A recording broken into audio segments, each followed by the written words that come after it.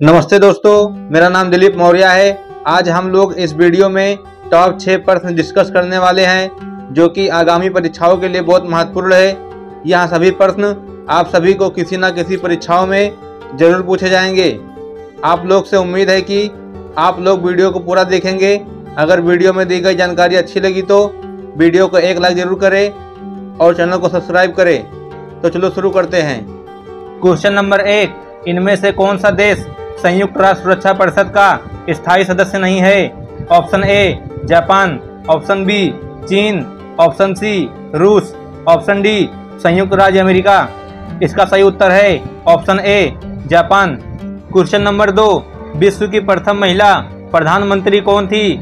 Option A Sirimavo Bandaranaike option B Margaret Thatcher. Option C Indira Gandhi. Option D Golda Meir. इसका सही उत्तर है option ए Sirimavo भंडार Nike. Question number तीन, चाय के उत्पादन में भारत का विश्व में कौन सा स्थान है? ऑप्शन ए, पहला। ऑप्शन बी, दूसरा। ऑप्शन सी, तीसरा। ऑप्शन डी, चौथा। इसका सही उत्तर है ऑप्शन ए, पहला।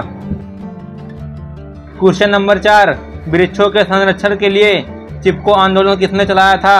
ऑप्शन ए, सुंदरलाल बहुगुणा ने। ऑप्शन बी बैंकर रॉय ने ऑप्शन सी मेधा पाटेकर ने ऑप्शन डी बाबा आमटे ने।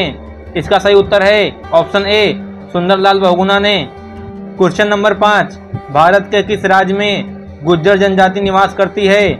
ऑप्शन ए उड़ीसा में। ऑप्शन बी कर्नाटक में। ऑप्शन सी महाराष्ट्र में। ऑप्शन डी जम्मू कश्मीर में। इसका सही उत्तर है ऑप्शन डी जम्मू कश्मीर में। क्वेश्चन नंबर छः भारत में कुल कितने पिन कोड जाने जाते हैं? ऑप्शन ए सात, ऑप्शन बी नौ, ऑप्शन सी आठ, ऑप्शन डी छः इसका सही उत्तर है ऑप्शन सी आठ।